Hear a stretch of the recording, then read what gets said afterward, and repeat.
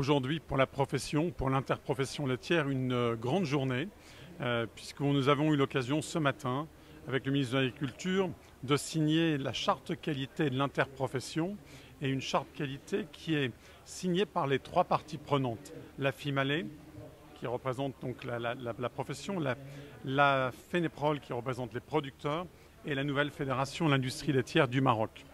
C'est un engagement solidaire hein, et très construit entre nous d'apporter le meilleur à travers le lait de grande qualité pour nos consommateurs qui recherchent une bonne nutrition, mais avec des produits en toute sécurité.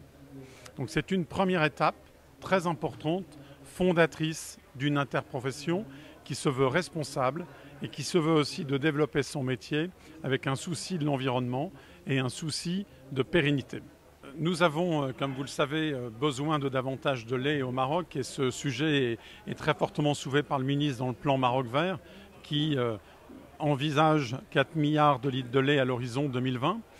Et quand quelque part on a cet horizon, cette vision, on a, nous les industriels et l'ensemble des membres de l'interprofession, une grande responsabilité d'œuvrer pour aider nos éleveurs à pas seulement livrer le lait, mais développer le meilleur lait possible. Et c'est le principe de ce projet Eli Baladi qui a fait l'objet d'une première signature de convention aujourd'hui, avec la première coopérative qui s'est engagée avec succès. Mais ce projet ne s'arrête pas là. Ce projet, on a la volonté, au minimum, d'ici 2020, d'engager 10 000 producteurs.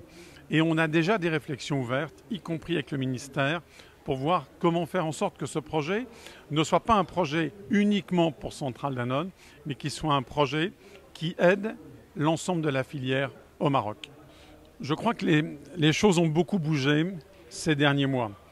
Il n'y a plus de compétition entre la FIMALE, la FNIL et la FENEPROL.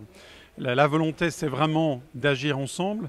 Et dans la dernière élection, création de la Fédération d'industrie laitière, où j'ai été élu le président, j'ai souhaité faire un bureau qui rassemble à part égale le monde coopératif et le monde industriel, qui intègre dans ce bureau des membres représentants de coopératives laitières au Maroc.